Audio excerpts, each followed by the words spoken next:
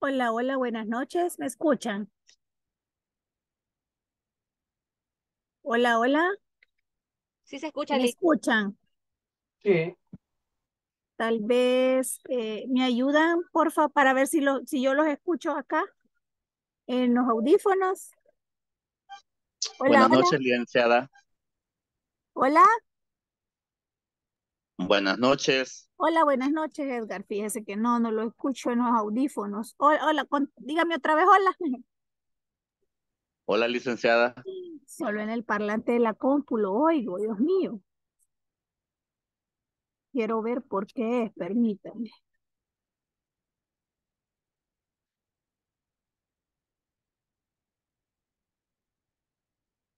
Bien, yo creo que ya.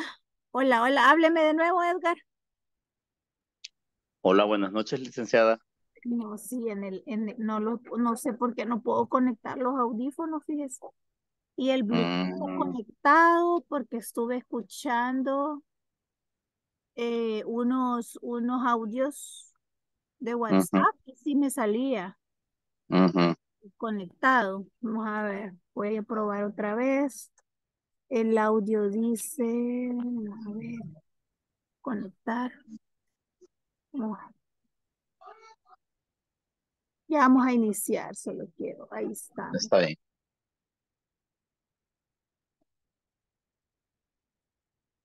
Ay, Dios santo. Bueno, vamos a empezar. Si no logro escucharles, eh, me lo voy a quitar. Bien, buenas noches a todos, bienvenidos. Vamos a comenzar ya nuestra sesión. Esta es la sesión número 13 y la primera, digamos, de la sección número 4, ¿verdad? Estamos por finalizar nuestro diplomado el día viernes 19, siempre en el mismo horario. Vamos a tratar de tocar algunos temas que están pendientes de la sección 3 y lograr tal vez empezar a abordar temas ya mañana de esta sección. Sin embargo, esta es la, la, la sesión número 13, sección 4, el inicio, digamos, de esta semana. Recordarles que tienen que hacer sus laboratorios y su eh, examen final también, si está pendiente, ¿verdad? Ahí les compartí el día de ayer todas las presentaciones precisamente para que tengan el material eh, completo y que no los vaya a atrasar el, el hecho de que no los hayamos desarrollado teóricamente todavía para que ustedes puedan hacer su evaluación. Vamos a comenzar ya en honor a la puntualidad y también al tiempo que tenemos poco y a veces ni sentimos la hora. Ayer estuvo muy interesante la clase porque hubieron varios aportes y este, estuvo muy entretenida. Si me, me, si me van escuchando cortado, me avisan. Yo estoy fuera de mi casa, no, no alcancé a llegar, hay un gran tráfico espantoso y hoy me tocó salir a trabajar a campo. Eh, pero sin embargo, cualquier consulta, duda o algo me dicen para yo poder, yo estoy conectada con mi celular, ahorita con el internet del celular, si me escuchan cortado o algo, me avisan en el momento, si hay alguna interferencia, me avisan y yo con gusto pues me cambio de red. ¿verdad? Normalmente en mi casa ocupo esta red también porque es más estable. Vamos a, les voy a compartir pantalla para que puedan ver el tema que vamos. ¿La pueden ver? ¿Pueden ver la presentación? Sí. Ok, gracias. Bien. Acá, espera.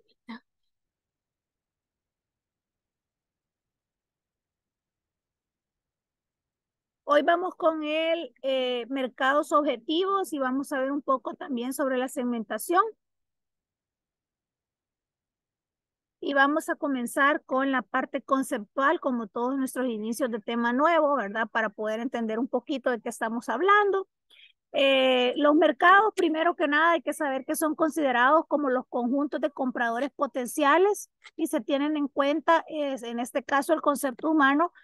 Y además, eh, los usuarios, en este caso, pueden tener como diferentes perfiles, ¿verdad? Estos conjuntos de personas pueden tener diferentes perfiles de compradores y esto va a depender mucho de cómo realicen una compra o cuáles son las decisiones que toman al respecto.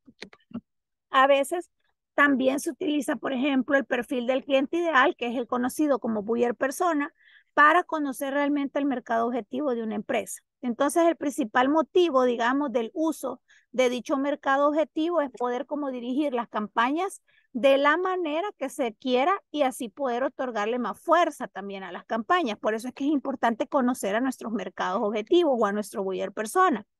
Al conocer bien nosotros a la audiencia a la que vamos a vender nuestro producto, el mensaje ya es más probable que aumente sus niveles de eficacia y que le lleguemos de manera correcta al cliente. Entonces hay que tener claro, por ejemplo, a quién va dirigido el producto. Esto nos va a ayudar a nosotros como marca también a incrementar el nivel de ventas y gracias a esto también es posible como optimizar los recursos existentes, como el tiempo, por ejemplo, el dinero y elegir los canales de distribución que sean adecuados. Ya sabemos, porque ya vimos ese tema en, en la primera sección, que cuando hablamos de distribución estamos hablando de la plaza, que es una de las cuatro P del marketing mix. Entonces, adaptamos el producto a estas necesidades externas, implantamos nuevas ideas de este producto y sobre todo tenemos claro cuál es la demanda existente.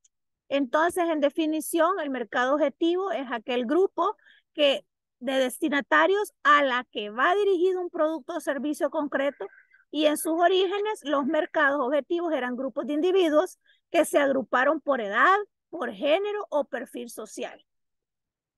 De ahí está también el, eh, otro concepto que es el mercado objetivo versus, aquí está, versus el público objetivo, porque a veces tendemos a pensar que es lo mismo o no entendemos por qué hay una diferencia. No es que sea mucha la diferencia, pero sí hay algo que los, digamos, distingue.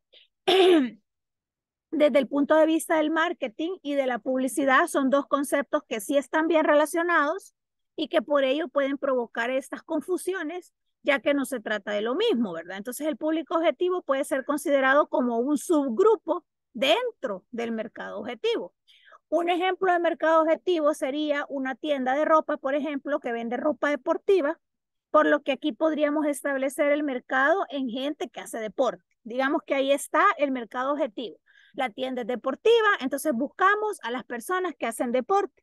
Entonces, ¿cuál es el público objetivo de esta tienda? Aquí ya vamos más específico, podrían ser hombres de 20 a 40 años, deportistas, y en concreto ya podríamos decir que son los runners, o sea, los que corren, y a los cuales va a ir dirigido entonces nuestras promociones y campañas de marketing. ¿ya? Entonces, ese sería como el público objetivo dentro de mi mercado objetivo de deportistas, ¿verdad? ¿Se entiende el ejemplo? Me levantan la mano si se entendió, por favor. Me levantan la mano si se entendió el ejemplo, por favor. Ahí está el botón. Gracias, excelente. Bien. Seguimos entonces, ya sabiendo esta diferencia, la pueden bajar, muchas gracias. Entonces, ya sabiendo este concepto, perdón, vamos a pasar a la diferencia entre mercado objetivo y también el mercado potencial. Gracias, Edgar. Bien, ya la podemos bajar para ir identificando después los aportes. El mercado objetivo es donde la empresa va a enfocar su esfuerzo de marketing porque es ahí donde se van a encontrar los consumidores. Y el mercado potencial, en este caso, va a hacer referencia a esa parte del mercado que se quiere alcanzar. ¿verdad? Porque engloba a aquellos que tienen la capacidad también de adquirir el producto, pero que actualmente no lo están haciendo. Entonces, aquí ya estamos hablando de ese mercado potencial que aún no me compra, pero que puede comprarme. Es un mercado al que se aspira a llegar, pero que no tiene eh, todavía por qué suceder, ¿verdad? Entonces, ahí es donde vamos nosotros a entrar con nuestras campañas de marketing para que esto suceda. Pasa también de que podemos decir, sí, le vamos a tirar a todos los runners, pero probablemente no todos los runners tengan la capacidad de comprar. Se esperara que sí, ¿verdad? Porque es un grupo selecto de personas que pues invierten en hacer este deporte, pero algunos, aunque les guste el deporte y lo hagan, no quiere decir necesariamente que puedan adquirir nuestro producto. O sea, eso es la parte también de, de trabajo del marketing, investigar todo eso. De ahí también podemos hablar de los factores que determinan un mercado objetivo. Está la parte geográfica, la edad y también el sexo. Entonces acá los principales factores hay que tenerlos en cuenta para determinar bien el mercado objetivo. Entonces, cuando hablamos de la parte geográfica, acá se toma en cuenta las regiones geográficas a la hora de determinar estos productos o servicios que vamos a dirigir y a qué ciudadanía también vamos a ser dirigida, ¿verdad? O sea, a dónde residen realmente. Por ejemplo, los productos que se destinan a zonas más tropicales, entonces ahí tendrían que ser pensados en que sean resistentes al calor, ¿verdad? Cuando hablamos de la edad, por ejemplo, acá en la edad, eh, digamos que es un factor que vamos a tener en cuenta por también los cambios de preferencia que tienen los consumidores a lo largo de su vida. Todos eh, vamos teniendo diferentes etapas de vida a medida vamos creciendo en edad, ¿verdad? No solo en la parte física, sino en la madurez, en, en las preferencias, en los gustos, en nuestras necesidades. Probablemente las necesidades que yo tengo ahora a mi edad, hace 20 años no las tenía, ¿verdad? Hace 20 años no sabía ni qué quería y mi dinero probablemente me lo gastaba en cosas más banales, superficiales, pero porque en ese momento eran mis necesidades. Y ahora que yo ya tengo 20 años más, ya no, o sea, ya es como, ya mis necesidades mis prioridades, mis gustos y mis necesidades cambiaron, mis deseos han cambiado. Entonces, esto de la edad, por eso es importante, porque los consumidores vamos cambiando estas preferencias a lo largo de nuestra vida. Por ejemplo, y vamos a poner un ejemplo, un adolescente puede estar interesado ahorita en deportes de riesgo y un adulto tal vez en un deporte más tranquilo, podría ser la natación, el ajedrez, qué sé yo, el golf, el tenis, algo que no le va a requerir, eh, digamos, peligro, riesgos ni nada. En cambio, un adolescente probablemente quiere ir a hacer, eh, qué sé yo, moto de montaña o tal vez probablemente tirarse de un bungee o quizás ir a escalar una montaña. Entonces, así es donde vamos nosotros viendo cuáles son estas necesidades que se van a cubrir, ¿verdad? Los productos entonces tienen que ir orientados a ese factor teniendo en cuenta estas claves. Si yo voy a vender productos, por ejemplo, para eh, ir a hacer un deporte extremo, tengo que segmentar a mi, a mi mercado y sé que lo voy a hacer en jóvenes. Probablemente ustedes me digan, no, pero también hay adultos que hacen ese tipo de deportes, sí, pero probablemente sea más reducido. No, no quiero decir de que no haya adultos que sí hacen deportes riesgosos porque al final así se han criado, así han crecido, son, están bien de salud, están bien de su físico, pero no va a ser el 100%, probablemente sea un 30%. Entonces, tengo que tener claro que el otro 70 es mm, jóvenes y el otro 30 probablemente sea jóvenes adultos, vea. O un 10 puede ser bien, bien adultos, un 20 jóvenes adultos y un 70 adulto. Pero ahí es donde vamos marcando cuáles van a ser esas edades.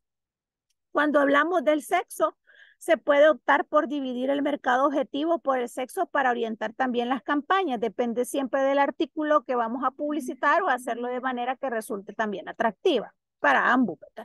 Por ejemplo, podría ser un perfume que va orientado a la mujer, pero que cause atención en el hombre. Esto podría ser como un posible regalo también de valor. probablemente el perfume esté diseñado para mujeres, pero a lo mejor también no podemos, no vamos a dejar de lado también que al hombre también le puede gustar para regalarlo. Todos los hombres tienen muchas mujeres alrededor de su vida, sus mamás, sus hermanas, su esposa, su tía, eh, sus hijas. Entonces, ahí es donde también se piensa. Entonces, ahí vamos a los mismos de los porcentajes, ¿verdad? Probablemente esté diseñado para un 70% específicamente que la mujer lo compre, pero el otro 30 también es pensado en aquel hombre que quiere hacer un regalo, ¿verdad? Para estas mujeres especiales en su vida. Entonces también por ahí se orienta cuando se va a segmentar para ir eligiendo como esos públicos objetivos, ¿verdad? De ahí viene la parte por ejemplo, de las ventajas de definir este mercado objetivo. Como todo, ¿verdad? Tiene ventajas, optimización de recursos, segmentación de mercado, que es lo que se busca, adaptación de los productos y creación de nuevos, determinación de la demanda potencial.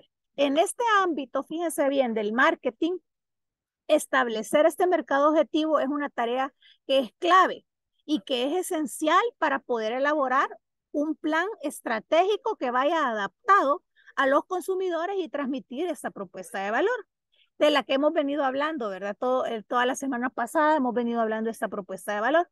En el campo de la publicidad, un mercado objetivo definido permite ser más eficientes y efectivos cuando se realizan estas campañas. Entonces, la selección de medios es importante y también crear esos vínculos con el público. Entonces, por eso es que menciona alguna de estas ventajas. Por ejemplo, cuando hablamos de la optimización de recursos, aquí se trata de elegir bien los medios de comunicación, la distribución y la promoción adecuada para que podamos comercializar estos productos de una manera eficaz dentro de este mercado. Cuando hablamos ya de la segmentación de mercado, el público objetivo va a quedar perfectamente localizado en cuanto a sus características culturales y de consumo, pero bien puntuales. Y cuando hablamos de la adaptación de productos y creación de nuevos, pues esto nos permite conocer también la oferta y la demanda, ¿verdad? Del mercado y cómo va a afectarnos al negocio, que eso es importante, conocer siempre la oferta y la demanda. Y la determinación de la demanda potencial ya nos permite entonces identificar si realmente existe una demanda de nuestros productos y qué tipo de personas estarán dispuestas a iniciar el proceso de compra. Y cuando hablamos de iniciar el proceso de compra, ya lo vimos también, es de pasar por las cinco etapas hasta llegar a la, cuarta, que es la decisión de compra, y la quinta, que es la postcompra, ¿verdad? Entonces eso es lo que necesitamos como saber realmente la determinación de la demanda potencial. Entonces, conociendo después las ventajas, ahí es donde viene la parte de cómo vamos a definir el mercado objetivo de mi empresa. Si tenemos un emprendimiento o si trabajamos ya en una empresa eh, que no, tal vez no es propia, pero estoy en esta área comercial, pues cómo vamos a definir este mercado objetivo. Entonces le dice acá, si ustedes ven en pantalla, dice segmentación del mercado importante, selección de mercado objetivo importante y posicionamiento del producto. Entonces, ¿qué quiere decir? Que definir el mercado objetivo de nuestra empresa siempre va a ser una tarea compleja, pero necesaria para poder asegurar el éxito de nuestro producto o servicio en el mercado. Entonces, por eso es que dice que hay que cumplir con estos tres pasos, ¿verdad? Después de esto, entonces ya viene como subtema la parte de la segmentación. No podemos llegar a la segmentación si no vemos lo del mercado objetivo y el público objetivo y también la parte potencial, ¿verdad? Entonces aquí es donde ya hablamos de la segmentación como tal. Si van teniendo aportes o dudas o quieren aportar algo, me levantan la mano que yo les doy la palabra. De ahí viene entonces la segmentación. Acá vamos a conceptualizar primero qué es segmento de mercado como primera parte.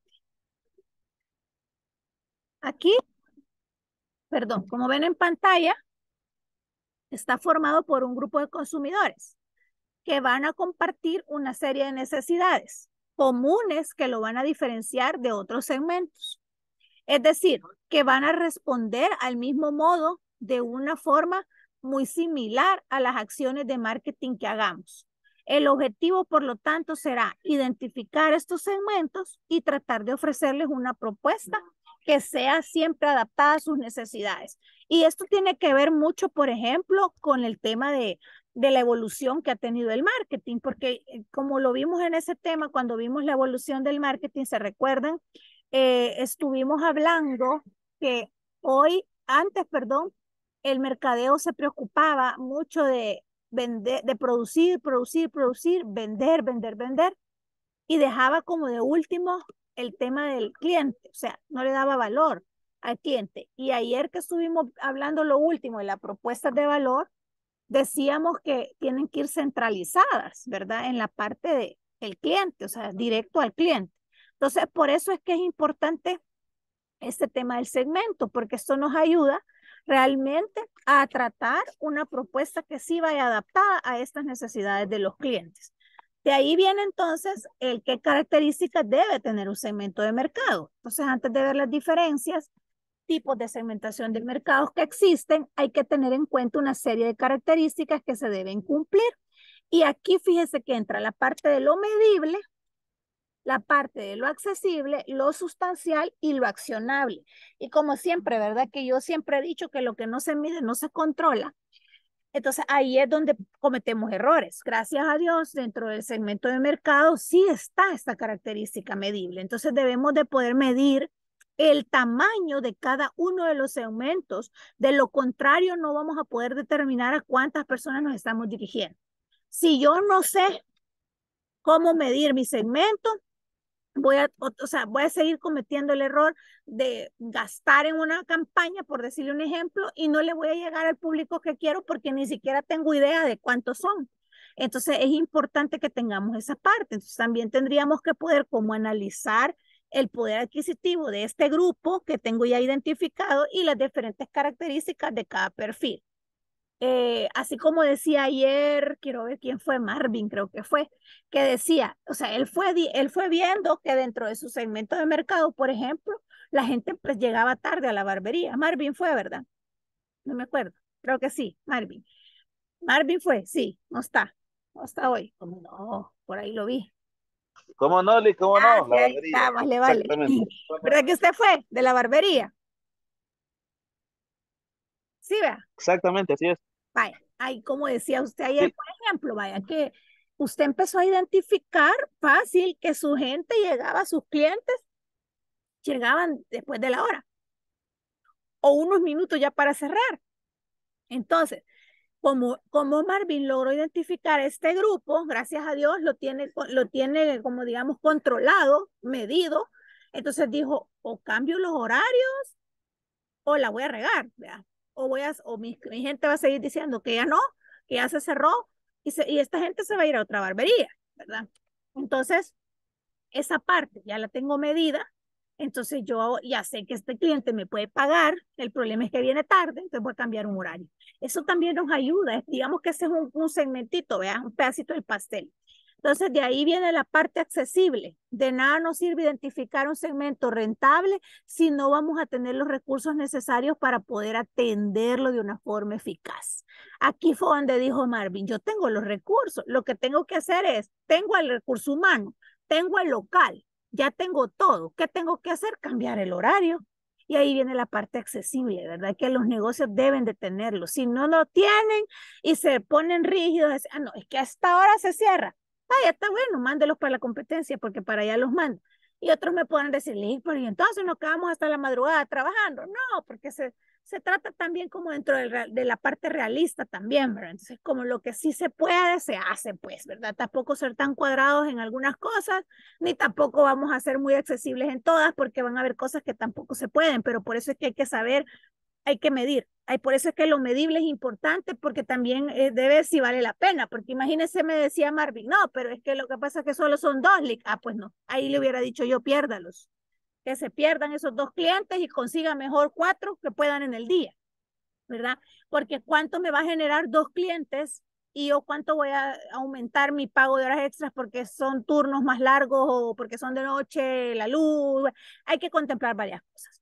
De ahí viene la parte eh, sustancial. Los segmentos de mercado también deben de ser lo suficientemente grandes, fíjense bien, para que sean rentables. Pues, entonces aquí viene el ejemplo.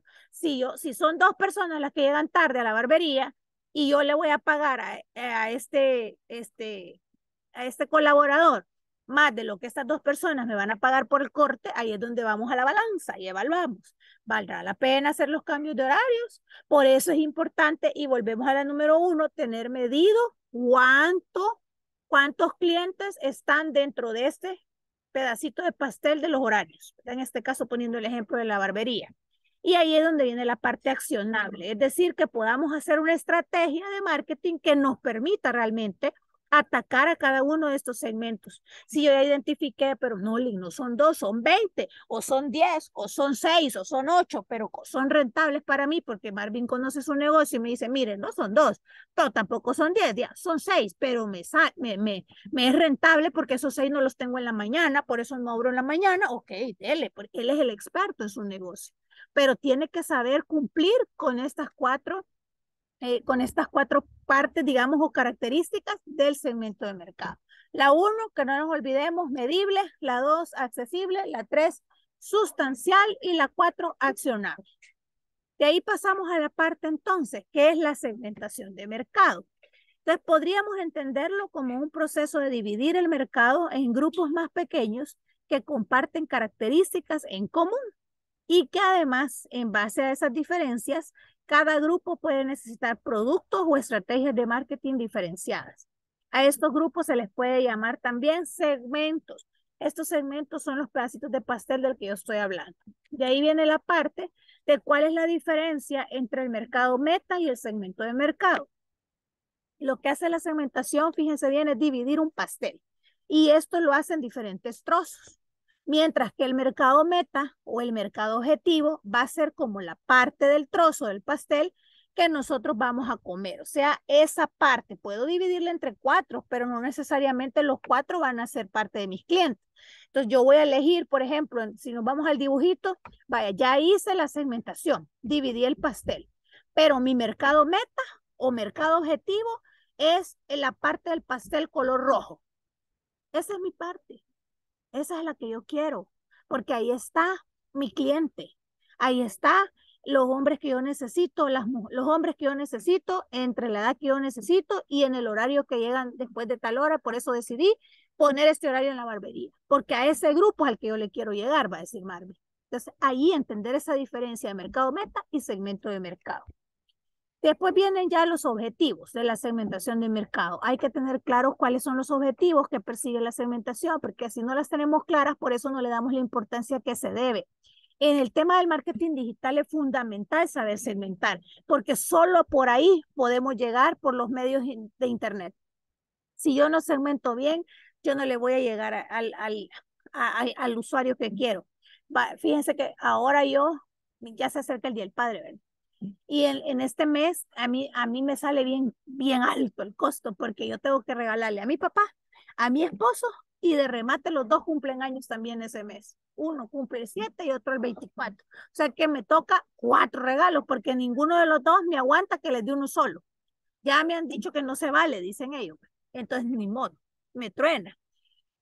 Yo me metí ahora al marketplace a buscar mochilas para laptops y no les puedo explicar solo me metí y después me metí a mi, a mi muro, al principal, al inicio, en el Facebook y en el Instagram, y me empiezan a salir todas las empresas que venden eso.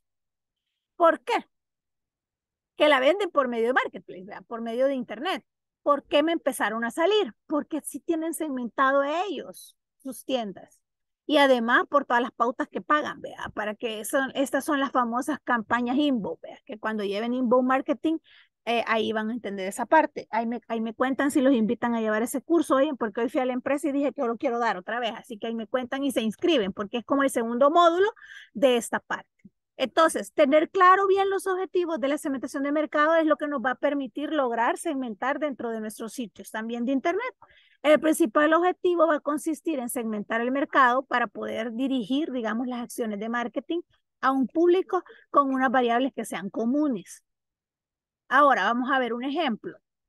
Aquí dice que imaginemos que estamos pensando cómo hacer una campaña en Facebook y dudamos cómo segmentar nuestro público objetivo. Entonces, para ello, antes dice que hay que analizar las diferentes variables de segmentación para conocer los gustos, los intereses y las motivaciones de nuestro cliente ideal. Y ahí es donde viene el tema geográfico, la edad, el poder adquisitivo, las regiones, etcétera. Eduardo. Buenas noches, licenciada. voy a quitar esto porque no me sonó. Diga, hoy sí lo escucho. Excelente. Fíjese de que yo tenía unas campañas en Facebook, como le comenté. Ajá. Y yo logré segmentar que las personas que consumían mi producto lo consumían a partir de las 5 de la tarde, el día viernes, hasta el domingo al mediodía. Pero para poder segmentar eso, como uno va probando, eh, quizás desperdicié como dos meses de campaña, porque yo dejaba la campaña abierta para ir segmentando en qué momentos la gente le interesaba más. Al pasar los dos meses, me di cuenta de que solo tenía que activar la campaña los viernes en la noche, sábado y domingo hasta el mediodía. De ahí para allá no había interés. Entonces ya era de gusto la inversión en la campaña. Ajá. Tal vez no que no había interés, ¿verdad? Sino que la gente a, esa, a ciertas horas no, no se conecta o no revisa, tal vez, ¿verdad? También. Exacto. Y lo que descubrí que en el caso del producto que yo vendo, en Instagram, a cualquier hora que yo lo deje activo, él vende. Él vende. El tipo de personas que están ahí son diferentes a las que consumen Facebook. Entonces, hoy la campaña ya no se Eduardo. ¿Cómo dice? ahí tiene, en el Instagram tiene mucho que ver la edad también, porque ahí es, ahí hay, sí habemos como millennials y X, pero hay más Z también, entonces ahí también tiene generación, hablo de la generación. Ahí también identificar bien quién es su público que usa Instagram, porque eso le puede ayudar. Sí, yo creería que el poder adquisitivo es mucho mayor del consumidor de Instagram que el poder adquisitivo que tiene la persona que ocupa Facebook. Esa es la conclusión que yo he llegado. Sí, es que, es que también hay que, hay que entender como las redes, ¿verdad? Fíjese que yo les creo que les conté que en una de las materias que se llama comunicación de marketing integral de las que yo doy en la universidad, básicamente dedicamos casi seis horas solo de hablar de un contenido que es las redes sociales. Y ahí es donde hay que entender un poco cómo funciona cada red. Si no entiendo yo cuáles son las funciones y objetivos que quiere cumplir cada red social, me puedo equivocar y elegir la red que no me va a, dar como esos frutos que yo espero. El Instagram lo que tiene y una de sus características es que sí es, sí es una red social como para amigos, videos y eso, pero una de sus características principales es que es para empresas también. Es para publicitar muchos emprendimientos, empresas pequeñas, medianas y grandes incluso. Porque eh, digamos que hay como menos material social y hay más material, digamos, marketing empresarial y, pareciera que no, porque aparentemente fuera una red como que va dirigida solo a jóvenes, pero no. Eh, eh, en, en, cuanto a la parte de marketing, va dirigida mucho a negocios también, y por eso es que es bien funcional. Lo que sí hay que como identificar también qué seguidores voy a tener, ¿verdad? Y ahí es donde usted dice que, que por eso se ve más el poder adquisitivo, porque es como más comercial eh, el Instagram. Correcto, licenciada. ¿Verdad? Bien, seguimos. Ay, espérenme, me pasé. Dios mío. Ajá, aquí. Otro objetivo de la segmentación de mercado sería el de optimizar los recursos y las capacidades de que dispone la empresa. Si tenemos unos recursos financieros limitados para hacer campañas de publicidad, ¿deberemos de optimizar al máximo nuestros anuncios o no? Si debemos y cómo lo hacemos. Entonces, mostrando el anuncio correcto, como decía Eduardo, a las personas correctas, y aquí le vamos a agregar en el horario correcto y en los días correctos, ¿verdad? Entonces, para ello debemos de haberlas analizado previamente, que fue lo que Eduardo hizo. Mire, Eduardo, todo lo que usted dijo en el ejemplo ya estaba aquí puesto en la teoría. Y conocer, fíjese, qué elementos tienen en común los grupos, unos grupos con otros. Vaya, por ejemplo, Eduardo con su ejemplo práctico dijo, que notó que la gente lo veía más los viernes en la noche y los sábados, ¿verdad, Eduardo? Viernes, sábado, domingo y domingo hasta el mediodía. Domingo hasta el mediodía. Entonces ahí es donde este objetivo entra como en valor, ¿verdad? Lo que decíamos en la teoría va, va a hacer match con lo que dice Eduardo de su ejemplo práctico. Entonces, seguimos, que es segmentar el mercado en marketing como tal. Y aquí yo a veces no manejo la palabra digital pero es obvio, vea, marketing digital, marketing tradicional, es lo mismo. Ya dijimos que el marketing digital lo que cambia son los canales y las herramientas.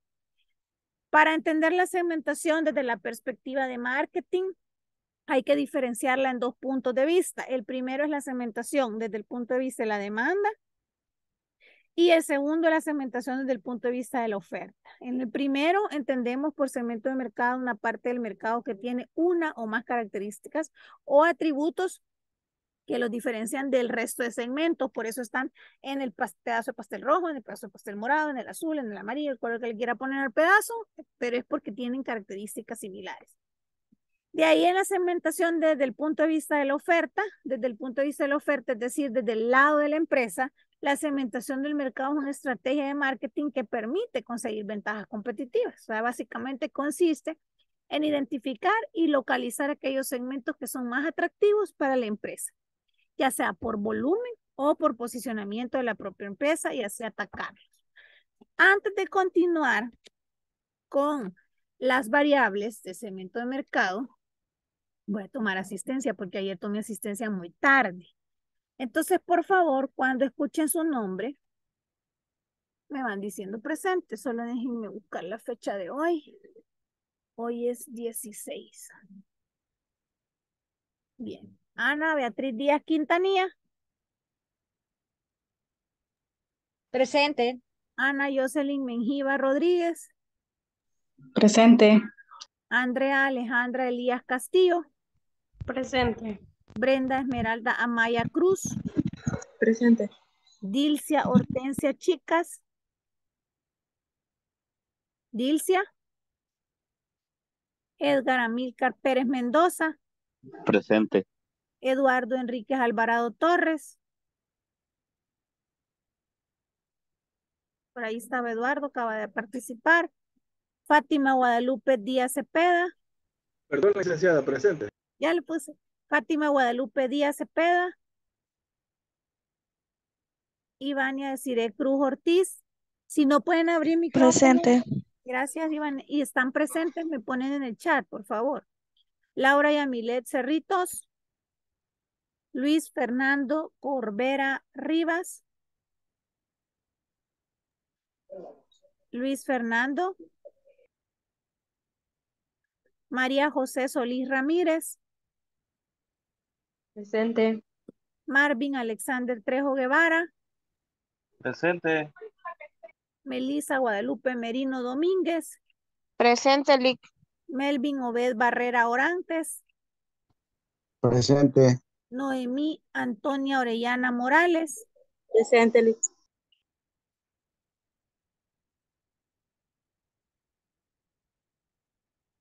Rebeca Estefania Ortiz Vázquez. Miren que me tuve que quedar por aquí en un restaurante porque había un gran tráfico. Y aquí donde estoy sentada, estoy en un como jardín porque para no ir bulla. Y acabo de escuchar como un sapo, niños. Si salgo saltando, corriendo, no se vayan a asustar. Hoy. Walter, Stanley Hernández Iraeta. Presente. Ay, no, estoy con miedo. Wilfredo Hernández Vázquez. Presente. Y William Alexander Meléndez Rivas. Presente. Sabes, si a ratos anda ese sapo aquí, como tenía los audífonos, no lo había oído. Bien, hoy sí que está la mayoría conectada. Vaya, ahora vamos a seguir con la presentación. Ya les vuelvo a compartir. Quiero ver nada más si en el chat nadie me puso. No, ¿verdad? Entonces todos están y los que no, pues realmente no. No es que no puedan abrir micrófonos, sino que no están conectados. Vamos a compartir. Seguimos acá con las variables de segmentación de mercado. Está la segmentación geográfica, está la segmentación demográfica, la psicográfica y la que es en función del comportamiento, o sea, la parte conductual. Acá vamos a ir tratando de verlas por medio de ejemplos para irlas entendiendo y que podamos terminar esta presentación y por lo menos empezar a hablar un poquito de la otra. Ay, espérenme. Espérenme, espérenme, espérenme. Me voy a desconectar y me voy a mover. Permítanme. Me voy a... Tengo conectado aquí en una pared. Bien. Ahí estamos. Cuando hablamos, por ejemplo, de la segmentación geográfica, aquí consiste en dividir el mercado en base a diferentes dimensiones geográficas. Entonces, algunos ejemplos de segmentación geográfica serían los que pueden ver en pantalla. Las regiones del mundo o por países, dependiendo cuál es su, digamos, tamaño también de la empresa, comunidades autónomas, tamaño de la ciudad, densidad y clima. En la parte demográfica, también divide el mercado en diferentes grupos, pero en este caso los criterios de segmentación demográfico son la edad y etapa del ciclo de vida. Y aquí, aquí me voy a detener porque aquí es donde hablábamos de que cada edad, cada etapa que uno vive, ¿verdad? En el camino de lo que uno va creciendo en años, eh, así le va cambiando a uno también el estilo de vida. Es decir, eh, como yo les ponía el ejemplo, o sea, lo que probablemente hace 20 años a mí no me interesaba, hoy sí, ¿verdad? Por ejemplo, hace 20 años yo me gastaba mi dinero en viajes, en salidas con mis amistades, en ropa, en salón de belleza, en qué sé yo, tontera, para mí que andar mi carro bonito, zapatos, cosas así, ¿verdad? Y allá, cuando me acordaba de mis papás, les daba algo. Y ahora, eh, a, mi, a la edad que tengo, en donde también mi poder adquisitivo cambia, ¿verdad? Gracias a Dios ha ido cambiando y de eso se trata también de ir evolucionando como profesional y como este, y como también como en la parte personal, laboral y académica y todo, ¿verdad? Y se trata de ir también como creciendo en la parte económica, pues a todos nos gusta el dinero, ¿verdad? El dinero no es malo. Entonces, eh, nos ayuda muchas cosas. Entonces, en el estilo de vida que tengo ahora, por supuesto, donde ya tomo en cuenta más el, eh, otras cosas, otras prioridades, eh, invertir ya, ya, por ejemplo, comprar una casa, ya tener como mi propia empresa con mi esposo, invertir en la educación de nuestra hija, aportar una parte económica en, lo, en la medida que podamos a nuestros padres. Yo solo tengo vivo a mi padre, mi esposo solo tiene viva a su mamá, y es como ver en de qué forma ellos no piden, pero sí, ayudarles en lo que se puede, ¿verdad? Para que se puedan dar gustos también ellos a la edad que tienen y ya las, las, prioridades como van cambiando, pero también así porque hay más posibilidades de adquisición económica. Entonces ahí todo esto ah, eh, va en esta parte, en este criterio. El nivel de ingresos, por ende, es otro de los criterios porque obviamente entre uno más gana, pues puede comprar más cosas, ¿verdad? Eh, el género también, el tamaño familiar, la profesión, la educación, la religión, la generación y la nacionalidad también es tomada en cuenta. De ahí viene la parte psicográfica y acá se divide el mercado eh, de los consumidores en diferentes grupos también, aquí en la clase social, el estilo de vida y la parte de la personalidad. En esta parte, digamos que estas variables es como un poquito más difícil poderlo medir pero en la medida de lo que se puede, se, se trata de hacer, porque aquí hay que identificar estos tres, estas tres variables. De ahí viene la parte de la segmentación en función del comportamiento, y aquí habla ya más de lo conductual, y este, fíjense que es un tema que ahorita ustedes lo ven en una lámina, pero realmente hay un, hay un tema completo que debería de hablar en, esta oportunidad, creo que no lo vemos en este, creo que lo vemos en el otro curso, pero el comportamiento del consumidor es importante tocarlo. Creo que lo platicamos en uno de los temas principales de, de la primera sección, pero es un tema súper amplio. Ese es un tema que es importante porque si nosotros no aprendemos a entender al cliente, es bien complicado que logremos llegarle. Entonces, es esta, esta segmentación en función de esto, pues debe de tomar las variables que ustedes ven en, pantalla según el momento de uso, que también tiene que ver mucho con el, con el estilo de vida y la edad, según los beneficios buscados, nivel de uso, según la frecuencia de uso, según el nivel también de lealtad del cliente, según su disposición y según también la actitud hacia el producto o la marca. Por ende, y para ir cerrando con este tema, los beneficios de segmentar el mercado son los que pueden ver aquí en pantalla, que la letra está algo chiquita, voy a tratar de ponérselos en grande. Ahí está. Permite la identificación de las necesidades de los clientes dentro de un submercado y el diseño también más eficaz de la mezcla de marketing para satisfacerlos. Las empresas de tamaño mediano pueden crecer más rápido, incluso también las pequeñas, si obtienen una posición sólida en los segmentos especializados del mercado. También, ay, perdón, me pasé. Ahí está. También la empresa crea una oferta de producto o servicio más afinado y pone el precio apropiado para el público objetivo. Esto también nos ayuda, fíjense, porque a veces no sabemos ni cómo determinar un precio y a veces lo sacamos solo por los costos, ¿verdad? Y, y sí es cierto, se tiene que tomar en cuenta el costo de producción y todo, la mano de obra y todo, pero también tenemos que pensar que si yo no tengo mi segmento definido y pongo un precio bien alto y, y ahí a ver a quién le vendo, no, vean hay productos que sí son más altos los precios, pero es porque existe realmente un mercado y que sí. Y que yo por eso a veces digo, miren, la verdad es que no hay producto caro, solo hay productos que no podemos pagar, porque no somos del segmento de mercado. Pero si existe el producto es porque ya hubo alguien atrás que hizo esa investigación y que se dio cuenta que sí hay un segmento que sí lo puede pagar. La selección de canales de distribución y de comunicación se facilita también mucho más cuando tenemos ya bien segmentado el mercado porque ya sabemos qué canales utilizar para, y para poder hacerle llegar el producto al cliente. La empresa también enfrenta menos competidores en un segmento específico, porque también así como, se, así como identificamos bien al segmento de mercado, sabemos quién es mi competencia directa, ¿verdad? Y después viene la parte donde genera nuevas oportunidades de crecimiento y la empresa obtiene, por, por supuesto, una ventaja competitiva más considerable. Entonces, con esto, con estos beneficios, estamos cerrando este contenido número 10. Puede dejar de compartir para ver si tienen alguna pregunta o algún aporte que quieran dar con respecto al tema.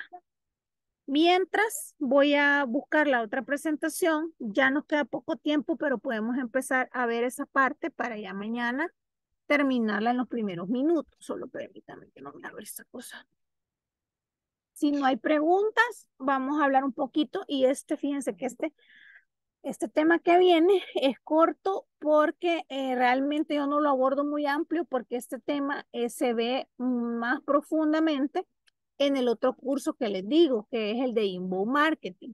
Sin embargo, acá vamos a ver un poco sobre esta metodología para que les empiece a, llamar la atención también, ¿verdad? Porque, espérenme, vamos a ver. Este curso es considerado, este es como el segundo módulo de esto mismo que ustedes están estudiando de, de marketing digital, así que no sé si ya les dijeron que se inscriban, no les han dicho. ¿No les han hecho la invitación todavía? No, No. No, ¿En serio? Ah, pues mañana voy a hablar con Evelyn y con Mauricio. quizás no lo, no lo van a dar todavía entonces. Pero normalmente cuando ya lo tienen para programación, le dan prioridad a la gente que ya ha pasado marketing digital. Así que si no les han dicho es porque quizás todavía no tienen fecha de inicio pero sí les van a decir, si no, igual yo voy a hacer la consulta mañana para sondear ahí a ver cómo está el tema. Pero sí se los recomiendo bastante. Les voy a compartir pantalla. Y acá, no las vamos a terminar de ver todas, son 11 láminas y ya solo nos quedan 13 minutos. Pero más o menos para que vean ustedes lo que se va, lo que podríamos, digamos, como abordar en este contenido y eh, aquí ya es como hablar del inbound marketing, o sea, realmente, ¿qué es el inbound marketing? Y como les digo, yo lo doy cortito, el tema de 11 láminas la tengo de hecho, pero en el, en el curso sí se veía más amplio, o sea, solo de esto habla, pues solo de esto se trata. Dice que el inbound marketing es como una metodología que combina técnicas de marketing, pero también de publicidad, que no son intrusivas, con la finalidad de contactar con un usuario al principio de su proceso de compra, pero también acompañarle en toda la transacción, o sea, en todo su viaje hasta la transacción final. Entonces, la principal, digamos, finalidad de esta metodología es contactar con personas que se encuentran en este inicio del proceso de compra de un producto determinado y a partir de aquí se les acompaña mediante el contenido apropiado para cada una de las fases. ¿Y por qué habla de contenido? Porque el inbound marketing ya es propiamente digital. O sea, aquí ya es más oriental, ya es más, digamos, esta metodología ya es más en lo digital. O sea, realmente el marketing digital eh, es como la herramienta, pero esto ya va dentro de, o sea, esto ya aquí es como, es bien complicado poderlo aplicar en la parte tradicional, digámoslo así. Entonces, ¿cómo va acompañando esta campaña? Por medio de contenido apropiado para cada una de las fases del proceso de compra, porque el usuario es, es, es digital, es decir, todo su viaje lo va a hacer sí o sí, así, y desde el inicio hasta el final. Entonces, por eso es que es importante, ¿verdad? Que vayamos haciendo ese acompañamiento apropiado durante toda la fase del proceso de compra y su perfil, hasta que haga la transacción final siempre de una forma amigable, fíjense, y posteriormente se le fideliza y ustedes van a decir, amigable, ¿y cómo? Si no hay una interacción de face to face ni nada, pero eso no quiere decir que no se pueda humanizar y personalizar, sí se puede y por eso es que es bien importante que cuidemos eso. Y yo siempre les he dicho, no deshumanicemos nuestra empresa solo porque lo hacemos de manera digital o solo porque esa es nuestra eh, herramienta Justamente, Eduardo, como usted lo dice, miren, hasta en el tono de voz, aunque no estemos hablando, nos, nos, nos pueden leer. Es, que esa es la palabra, la gente lee. Y así como el cliente nos lee a nosotros, correcto, la ortografía es importante, así como el cliente nos lee a nosotros, nosotros tenemos que saberlo leer a ellos. Entonces, aún sin tener una interacción física, física, porque personal sí la podemos tener, pero física. Entonces eso es importante que lo tengamos en cuenta. Ahora, ¿cuáles son entonces algunas de las ventajas del inbound marketing? Y fíjese que acá, más allá del marketing digital, proporciona ventajas como a largo plazo a las empresas que lo ponen realmente en práctica. Entonces, entre las principales ventajas, digamos que se encuentra que aumenta los contactos cualificados de marketing, o sea, los multiplica por un, digamos, 7.3 en un año y por un 9.8 en, en dos años, por decirles un número. Pero son unos aproximados que si usted busca en un libro de marketing digital o incluso en Internet académico, en Google académico, puede encontrar como estos datos como aproximados. ¿verdad? De ahí también le dice que aumenta los registros de leads, o sea que los multiplica también por, por decirle un 3% en un año y por un 14 o 15% en dos años. Entonces eso también es importante, tener un, crecimiento de 3% en el año puede ser muy rentable también para un negocio. Si se puede más, mejor todavía. Y otra eh, ventaja, digamos, puede ser también que incrementa las visitas que recibe la página web y también las multiplica. Se busca que las multiplique un 4, un 5% al año y cuando ya estamos hablando de dos años, ya como se le da más, digamos, más realce, podría multiplicarlo hasta un, ¿qué? 20% más, ¿verdad? En dos años. Son esas ventajas las que busca. De ahí vienen entonces los activos que proporciona el inbound marketing. Acá en esta parte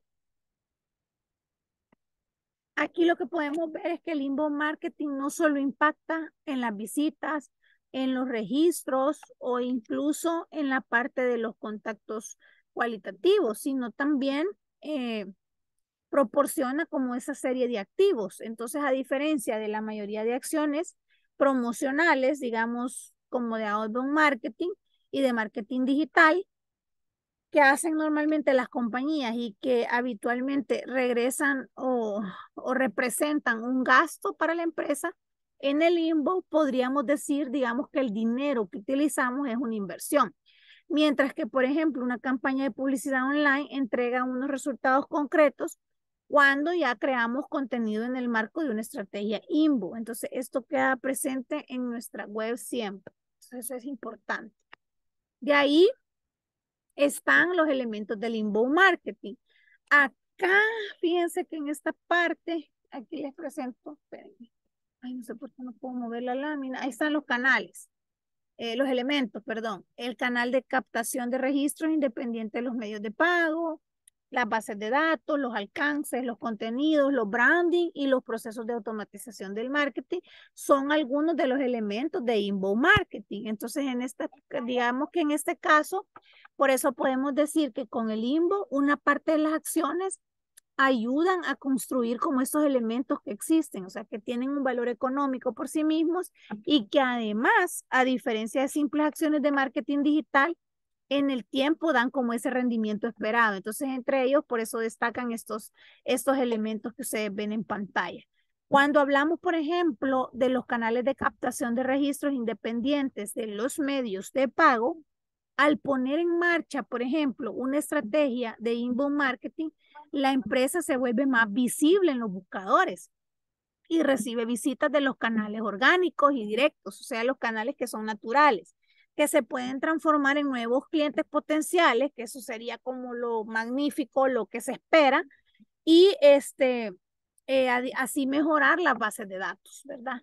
Y ya cuando hablamos de las bases de datos, entonces la organización acá genera una base de datos propia y con registros ya cualificados, o sea, a través de diferentes acciones de INVO, ya se trabaja para que los usuarios acaben convirtiendo eh, realmente a registros de la base de datos. O sea, que ya no solo sean usuarios, sino que realmente sean registrados, usuarios ya registrados en nuestra base de datos. Entonces, los esfuerzos que sirven para conseguir tráfico resultan, digamos, en esta construcción de una base de datos que con el tiempo va aumentando de volumen, que es lo que esperamos, ¿verdad? Como decía también Marvin ayer, que él también así va a ir, después leí los mensajes del chat, y vi un mensaje en donde decía Marvin que él estaba trabajando ya su base de datos. Algo así fue, ¿verdad, Marvin? Que usted había hecho un aporte en el chat, que lo leí cuando ya se habían desconectado todos. Sí, exactamente. Lo que pasa es que con, con toda la plática que hemos tenido, pues es de ir lo aplicar directamente sobre todo esto de la segmentación y todo esto que ya lo vimos, gracias a Dios, y hasta que nosotros somos eso, damos los servicios a una comunidad, o sea, estamos dentro de una colonia y ese es el mercado. ¿Y qué es lo que, qué es lo que sucede? Lo que sucede es que, que exactamente, nuestro mercado es tarde-noche, entonces tuve que cambiar horarios, tuve que darle incentivos al personal y aparte de eso, pues hemos eh, propuesto para esta semana y ya que viene el Día del Padre, hemos propuesto de que eh, todas las personas que lleguen eh, pueden participar en una membresía para seis meses de corte gratis. El único requisito es nada más que ellos eh, den su nombre completo y el número de WhatsApp, porque ya tenerlos exactamente ahí donde yo los quiero, están al alcance de un mensaje y de un estado para poderles tirar toda la promoción o poderlo llenar de incentivos o de horarios especiales para que la gente llegue. Y fíjense que cuando hablamos de inbound marketing, que aunque se hace digital, también se puede aplicar, digamos, en sus redes sociales, como en el caso de una barbería, y al final, al final del proceso de compra, digamos, ya vuelve a lo físico porque ni modo que le corten el pelo por el internet, vea, o sea, tiene que llegar a la barbería, pero ya digamos que la función de hacer una campaña inbound ya dio resultado en que el cliente, además de que terminó su viaje, llegó a la sucursal. Entonces aquí es donde viene la parte del alcance.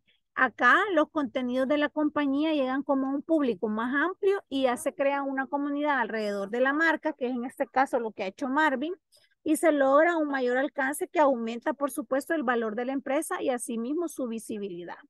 Y ahí viene la parte ya de contenido, o sea, la empresa genera contenidos que la posicionan como experta en su sector y que posteriormente puede comercializar. Entonces, al crear contenido de forma progresiva, quizás el efecto no se ve tan claro, pero hay compañías que durante muchos años han estado como creando contenido que no utilizaban. Entonces, es algo bastante común en algunos sectores, como por ejemplo los sectores farmacéuticos, donde los visitantes médicos y las compañías que sí disponían de este contenido que no estaba abierto al público, porque digamos que al subirlo a la red era, digamos, muy poco tiempo, le daban, digamos, eh, era poco tiempo y le dan, no les daba o, no les daba el rendimiento que esperaban, y o sí, ¿verdad? Y el tráfico que le generaba este contenido y que no debe confundirse con el tráfico orgánico, aunque estén relacionados, tenía mucho valor. Entonces, de hecho, hay compañías, fíjense, que deciden comprar contenido como de calidad de un blog y luego optimizarlo para impulsar así un tráfico orgánico. Entonces, hay, hay que tener cuidado también con eso, que qué tipo de contenido vamos a poner o comprar incluso. De ahí viene la parte del branding, y ya con esto vamos a ir cerrando, con esta lámina vamos a cerrar. Eh, aquí el branding, digamos que mejora la imagen de la marca de la compañía y gracias a una campaña INBO, una marca suele tener también más interacciones y más impactos también publicitarios, ¿verdad? Cada vez por lo que se va haciendo más, digamos, conocida y también consigue atraer más clientes potenciales. De ahí está el proceso de, de automatización. Aquí eh, siempre hablando de la parte de marketing, el proceso de automatización del marketing, se trata de como este activo más complejo y no aparece hasta que no se ponen en marcha procesos de automatización de marketing siempre.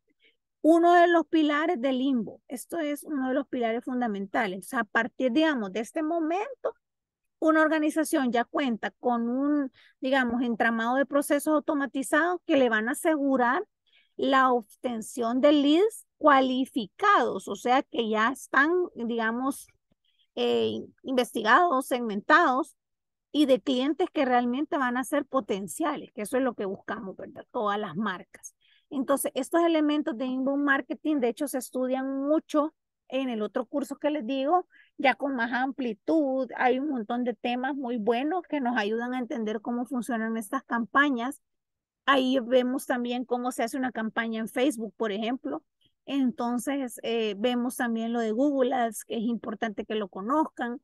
Eh, ahí es donde complementamos como el tema que hemos venido hablando de los sitios, qué sitio voy a ocupar. si me conviene un web, si me conviene un blog, si me conviene mailing o me conviene solo las redes y eso es importante. Entonces, yo de verdad les digo que si les dan el chance, en serio que tomemos en cuenta el otro curso.